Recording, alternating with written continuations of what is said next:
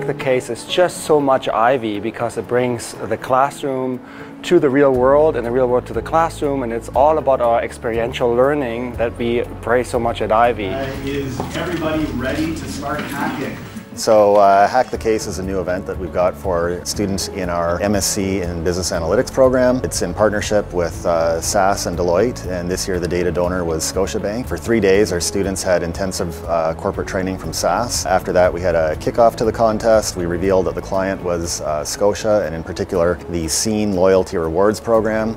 Uh, students were given one week to look at a database of 5 million customers from the Scene. And a lot of these uh, the skills that are required nowadays in data analytics, they are renewing themselves so fast that with this kind of event we can bridge these long-term educational pieces that are in theory and the frameworks that we'll be teaching in the classroom are being married with the, uh, with the live data uh, experience here at Deloitte. Today, roughly one quarter of Scene members have a Scotiabank account.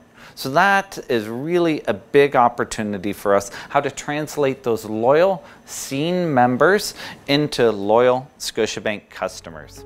The question that they were asked was to think about who the Scene program might want to target uh, in terms of converting Scene loyalty customers to other types of banking customers. After working on this for one week, our students uh, came here to the Deloitte facility in Toronto and they were given a bit of a curveball. We asked them to also think about when uh, the targeting of customers should occur.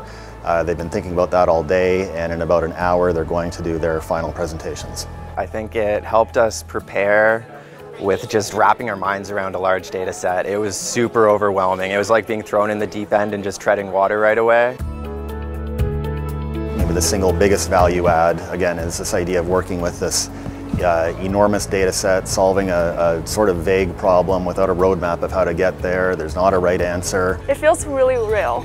It's all very dynamic and it's, everything's like uncertain. So a lot of ambiguity in this situation. It's always going to be a little bit messy and you need to work real, with real ambiguity, not just from the very beginning, but throughout the process until the last day of your presentation. I think this is really drinking from a fire hose really here. You know, having the experience with the companies. Companies are very engaged because the problem has not been solved for the, for the data provider.